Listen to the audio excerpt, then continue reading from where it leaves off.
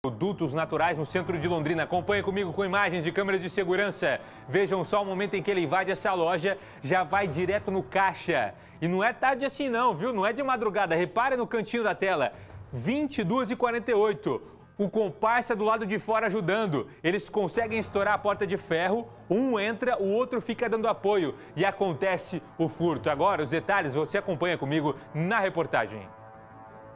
As imagens da câmera de segurança flagraram a ação criminosa na loja de produtos naturais. O ladrão aparece correndo pelo extenso corredor em direção ao caixa. Ele pula o balcão e começa a fazer a limpa. Depois de poucos minutos, foge depressa, levando dinheiro e um celular. A loja invadida pelo criminoso fica aqui na Avenida São Paulo, bem ao lado do calçadão de Londrina. E para ter acesso ao estabelecimento, o ladrão teve que fazer muita força. Ele arrombou literalmente essa porta de metal, que inclusive é eletrônica. O resultado do esforço, olha só, ficou estampado na porta, que está toda torta. A movimentação do lado de fora também foi flagrada por câmeras de segurança.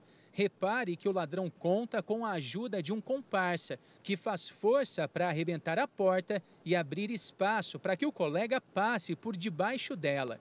O Natan é funcionário da loja e levou um susto quando chegou de manhã para trabalhar. Realmente foi uma situação muito complicada, né? inusitada, digamos.